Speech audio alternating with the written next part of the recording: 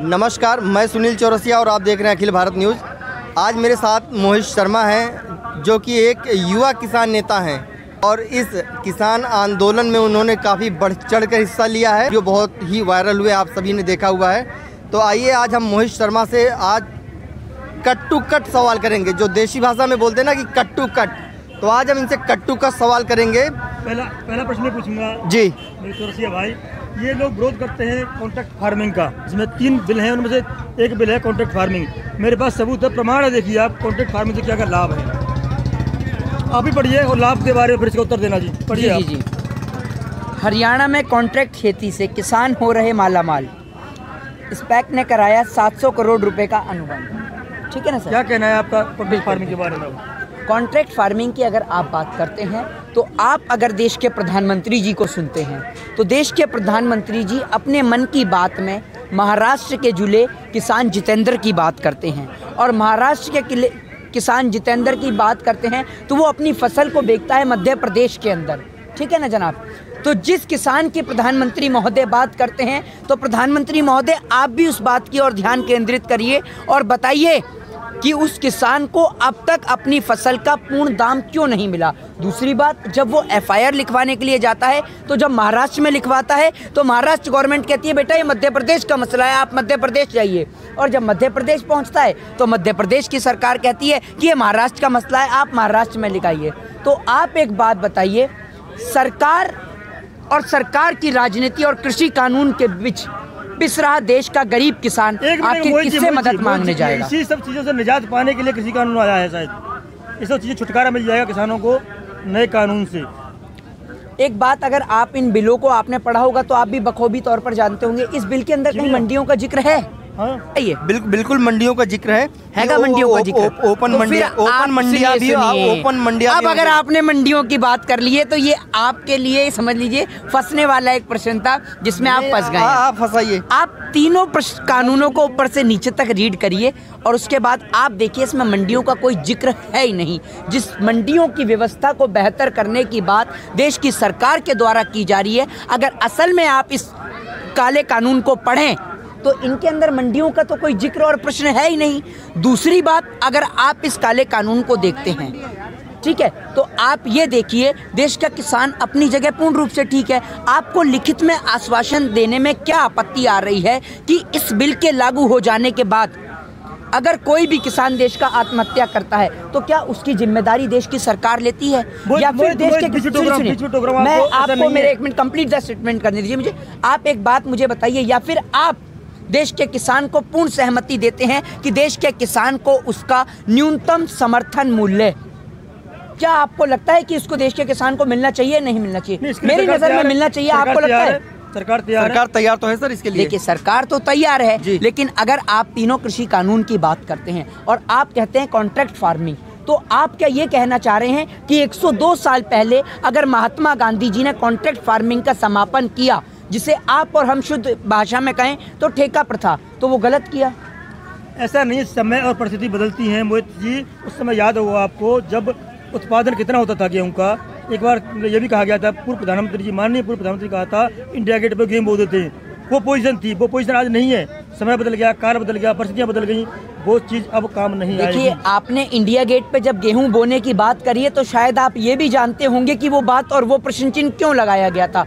वो इसलिए लगाया गया था जब हमारे पास सड़ा हुआ अमेरिका का गेहूँ आता था जिसे खाकर भारत के लोगों की तबीयत खराब होती थी तमाम तरीके की बीमारियाँ भी होती थी। रहे हैं। जी। ये था उस समय की बात आप न करें कि उस समय खाद्यान्न बहुत कम उत्पादन होता था। बिल्कुल। अब वर्तमान में आते हैं वर्तमान में। जी। अभी सरकार ने बजट में जो किसानों के लिए बहुत सारे मतलब बजट में ऐसे ऐसे प्रावधान किए हैं, जिससे किसान के उन्नति होगी, प्रगति होगी। तो इसका जो आप विरोध कर रहे हैं बिल का, उपयोगिता क्या रह जाती है? मेरे पास प्रमाण है, मैं दिखा देता हूँ। खुद ही पढ़िए आप। जी जी जी। आप, इसमें लिखा हुआ है कि जब बजट ने एमएसपी खत्म होने से दुष्प्रचार की हवा निकाल दी तो अब किसान और सरकार में वार्ता होनी चाहिए। ठीक है? अब आप ये भी तो सुनिए, देश के किसान ने वार्ता के लिए मना कब करा जब आपने पहले ही प्रश्न ये लिखा है?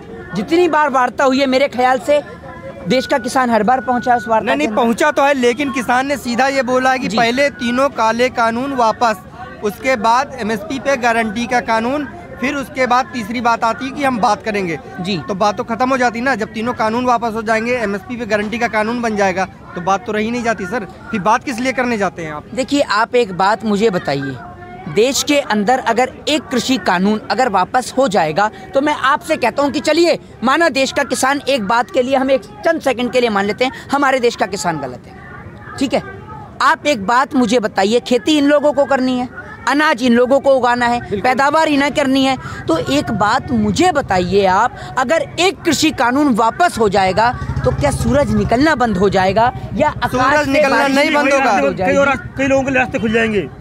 किन लोगों के लिए रास्ते खुल जाएँगे? उद्योगपतियों के लिए। आप समझ रहे हैं? नहीं नहीं उद्योगपतियों के लिए खुल नहीं नहीं जाएँगे। वापस लेने से कई और लोगों के लिए रास्ते तो आप नाम बताइए ना जब मैं तो नहीं समझता देखिए। सर मैं आपको समझाता हूँ मैं हाँ, बताता हूँ कि जो सरकार ने बोला है ये मेरे मतलब ये मेरा कथन नहीं है मेरा वक्तव्य नहीं है। हम्म। सरकार का सीधा कहना कि अगर ये कानून वापस होते हैं तो इन कानूनों की आड़ में सी ए एनआरसी के लिए भी लोग सड़कों पर बैठेंगे उसके लिए भी प्रोटेस्ट दोबारा से शुरू होगा। जैसा कि आपने पीछे देखा था शाहीन बाग में किस तरह धरना चला था और उसी धरने के आधार पे मौजपुर में इस दिल्ली में किस तरह नरसंहार हुआ था देखिए कौन ज़िम्मेदारी? देखिए मैं आपको निश्चित तौर पर आपकी बात से पूर्ण रूप से सहमत हूँ एक बात आप मुझे बताइए इस देश के अंदर भाजपा की सरकार के राज में धारा 370 सीए एनआरसी से लेकर आज कृषि काले कानून तक नोटबंदी जीएसटी तक देश के अंदर हर एक चीज़ को लागू करने के बाद देश की सरकार को अपने कानूनों को लेकर क्यों देश की जनता को समझाना पड़ता है?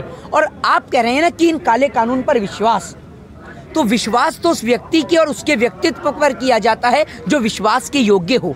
लेकिन जो विश्वास के अयोग्य व्यक्ति है शायद आप भूल गए हो। सीट सुनिए तीन सौ सुनिए। अरे सुनिए 303 सीटें आई हैं वो सब लोग जानते हैं कि किस प्रकार आई हैं। उसको आप मत नकारिए ठीक है?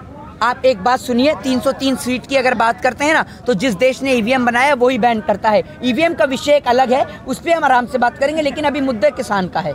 ठीक है? जी।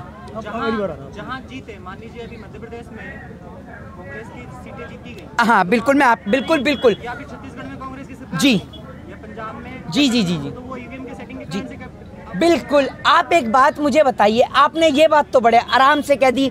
एक बात मुझे बताइए, वो बेटा, वो बच्चा जो पूरे साल पढ़ा नहीं क्लास के अंदर और हर सब्जेक्ट में हंड्रेड में से हंड्रेड लिया है तो क्या दूसरे पढ़ने वाले स्टूडेंट उस पर सवाल नहीं खड़े कर देंगे? तो इसीलिए टीचर भी उसको सारे सब्जेक्ट में हंड्रेड में से हंड्रेड नहीं दे देता। समझ रहे हैं? किसी में, सुनिए सुनिए, किसी में उसको पचास भी मिले हैं और किसी में साठ भी मिले हैं और कहीं ना कहीं उसको एक सब्जेक्ट में बैक भी दे दी जाती है। तो आप यही है देश की सत्ता चलाने के लिए। एक सब्जेक्ट एक एक सब्जेक्ट और है एक सब्जेक्ट और है जो माइंडेड गेम आप खेल रहे हैं ना नहीं, नहीं, और जो माइंडेड गेम पे आप बात कर रहे हैं उस माइंडेड गेम को मैं भी समझता हूँ। माना मैं आपसे आयु में छोटा हूँ अनुभव में छोटा हूँ तजुर्बे में छोटा हूँ। डेढ़ साल आप कहते हैं से होल्ड पे डाल दिया जाता है। अगर आप कह रहे हैं कि कानून में फ़ायदा मैं नहीं कहता। हम नहीं कहते हमारा चैनल बिल्कुल। सरकार सरकार अगर कहती है तो सरकार डेढ़ साल होल्ड पे क्यों डाल रही है? उसके उपरांत बैठ के बात करेंगे तो कमियाँ दूर कर देंगे। हाँ, बिल्कुल। मतलब आपने बहत्तर दिन के दौरान 170 से ज़्यादा किसान शहीद हो गए तब आप बात करने नहीं आए लेकिन डेढ़ साल होल्ड पर डालते ही आपकी बात शुरू हो जाएँगी। डेढ़ साल सुनिए सुनिए डेढ़ साल इसलिए कोई वार्ता इसलिए होल्ड पर डाला जा रहा है ताकि डेढ़ साल के अंदर आप अपना उत्तर प्रदेश निपटा लें। समझ रहे हैं? आप उधर अपना बंगाल निपटा लें और इधर अपना दिल्ली चुनाव निपटा लें। आपको तो तो मौका मिल जाएगा आपको तो मौका मिल जाएगा उनको हराने का उत्तर प्रदेश हराओ बंगाल हराओ आप दूसरी पार्टी को ले आओ उससे अच्छा कानून बनवाओ। इससे अच्छा क्या हो सकता है आपके लिए? एक बात मैं अगर आपको बता दूँ सुनिए। हराने का मौका सुनिए सुनिए। तो। देश के अंदर बहुत से राजनीतिक दल आए हैं और आते रहेंगे। इस बात में कोई दोहराए नहीं है। आज अगर नरेंद्र मोदी है तो कल कोई दूसरा नरेंद्र मोदी कुर्सी पर तैनात होगा। बिल्कुल। ठीक है? इससे किसानों की स्थिति में सुधार आने वाला नहीं है। अगर आप सोचें कि आप व्यक्ति बदल देंगे तो व्यक्तित्व को नहीं बदल सकते। ये कुर्सी के अंदर एक ऐसा अंग्रेज़ एक ऐसा वायरस छोड़ के गए हैं जो आने वाली पीढ़ी दर पीढ़ी के अंदर तैनात है। जो भी कुर्सी पर विश्राम कर लेता है आप ये समझ लीजिए जो कुर्सी पे विराजमान हो गया उसको कोई किसान नज़र नहीं आता उसको नज़र आता है अपना घर और परिवार। उसको नज़र आता है परिवार है ही नहीं। तो गब्बर का भी तो घर और परिवार नहीं था। वो किसके लिए लूटता था? वो काल्पनिक कहानी। चलिए वो तो काल्पनिक है, वो तो फ़िल्म है एक आप कह सकते हैं रियल में बताऊँ रियल में नाम बताऊँ आपको? जी। रियल में बताऊँ जो लोग लूटा करते थे? हाँ सुनना चाहेंगे उनके नाम? छोड़िए वो टॉपिक पर नहीं जाना चाह रहे हमारा ये है जी। अब जो सरकार बार बार अनुरोध कर रही है जी। कि वार्ता करिए और जो आप आपस में बात करिए हम तैयार हैं किसी पॉइंट पर किसी बिंदु पर पहुँचने के लिए। आपत्ति कहाँ आ रही है किसानों को? देखिए आपत्ति क्या अगर निश्चित तौर पर मुझे एक बार लगता है कि हमारे ही प्रधानमंत्री हैं और हमा हमारे और आपके मेरे दोनों के प्रधानमंत्री क्या पूरे देश के प्रधानमंत्री हैं? और हम लोग देश के प्रधानमंत्री जी से बस यही निवेदन और आग्रह करना चाहते हैं कि 70 दिन से ज़्यादा देश के किसान को यहाँ तैनात होते हुए हो गए। 170 से ज़्यादा शहादतें हो गई। तो आप वार्ता करने में क्यों हिचकिचा रहे हैं? आप जब वहाँ अमेरिका तक प्रचार के लिए पहुँच सकते हैं चुनावी प्रचार के लिए तो यहाँ वार्ता में कैसी आपत्ति? यहाँ तो आइए। तो यहाँ आइए ना। जब हम अमेरिका में जाते हैं और एक अमेरिका का नागरिक भारत देश में आता है तो हम उससे पूछते हैं तो वो कहता है आई एम अमेरिकन ठीक है? जी। हम एक चाइना से पूछते हैं तो आई एम चाइनीज़ तो हम लोग क्यों नहीं कहते आई एम इंडियन कोई नहीं, कोई इस बात- जब जब हम बाहर जाते हैं तो हम भी यही बोलते हैं अगर कोई पूछता है कि कहाँ से हो तो हम भी यही बोलते हैं कि हम भारत हम बाहर भारत हम बाहर जाके ही क्यों बोले? हम देश में ही क्यों नहीं बोलते आई एम इंडियन शर्म आती है इंडियन नहीं नहीं कोई कोई कोई कोई तो आप नहीं नहीं शर्म नहीं आती है। आप आप भारतीय हैं। गर्व से कहता हूँ भारतीय आप आप गर्व से ना बिल्कुल। आप आपने शर्मा आगे क्यों लगा रखा मोहित शर्मा क्यों आप लिखते हैं? आप मोहित क्यों नहीं लिखते? आप मोहन मोहित भारतीय लिखे